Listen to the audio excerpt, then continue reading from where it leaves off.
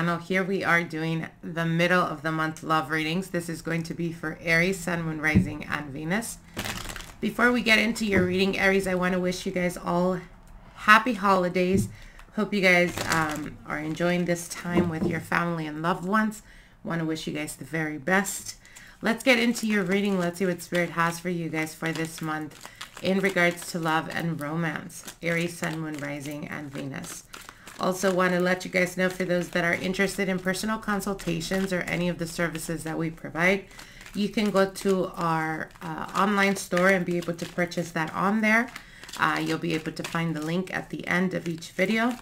Let's get into your reading, Aries. Let's see what is unfolding for you guys for this month of December 2021 in regards to love and romance. Spirit guides, what are the messages for Aries, Sun, Moon, Rising, Venus for the month of December 2021? Are you guys excited for this new year to come? You guys definitely stay tuned for the January yearly readings that I do. All right, Aries, Sun, Moon, Rising, and Venus. Let's get into it. Your first card here is the Lover's card. You may be dealing with a Gemini. Um, this can also represent moon, sun, or rising. Um, this is the energy of a very intense and very deep connection. Um, you may actually be dealing with a person or your person of interest, maybe a person that is linked to you on a higher level type of connection. So you may be dealing with some type of soul tribe, soul connection, um, or a soulmate. Now the next card here is the Empress card. And this is the energy of uh, their actions and the actions coming towards you. So the Empress could represent a very loving type of energy, but it can also represent um, the, the action of taking non-action. Um, so what I mean by that is if you're currently dealing with a situation where you're wanting them to come or communicate uh, towards you, the action that they're taking is the Empress, which is them waiting around or taking some time to pull back their energy and see how things unfold.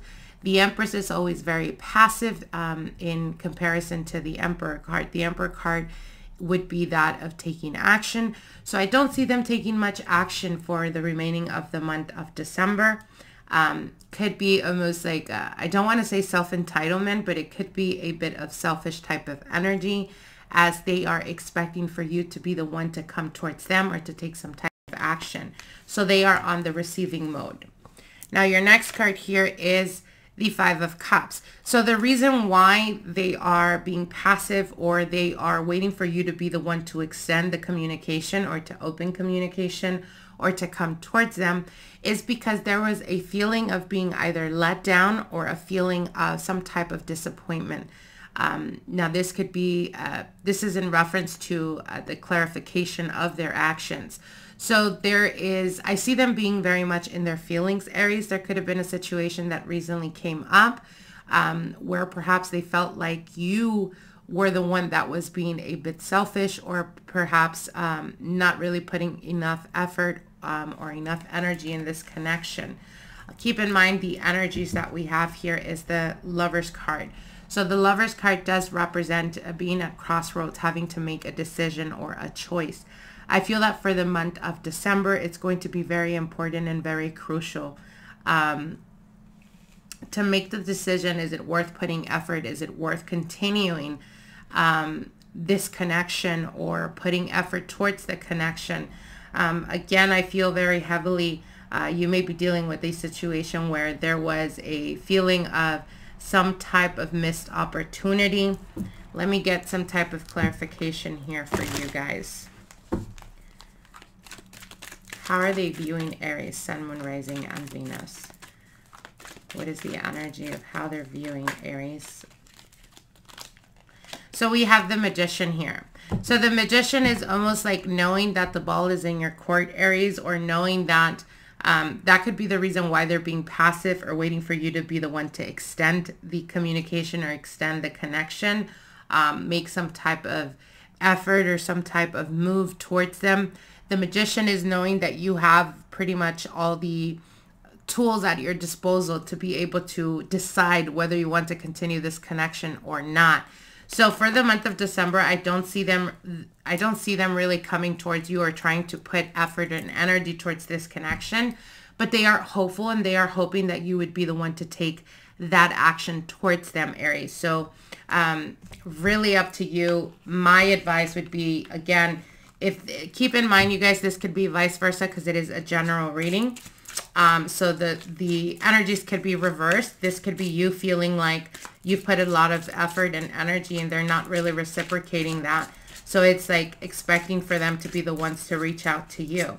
Um, whatever the situation is with the magician here, I feel like they know um, if it is you, the roles are being reversed. It could be them knowing that the ball is in their court. Um, and it's almost like because they're aware of this, it could be almost like um, because with the Empress and the Magician and right at the center is the Five of Cups, it's like knowing your power, but being willing to give up that power. Um, so in the past, you've been the one that always overextends or you're the one that makes the effort and energy. It's time to pull back your energy, Aries, only because the Magician knows the power that you have.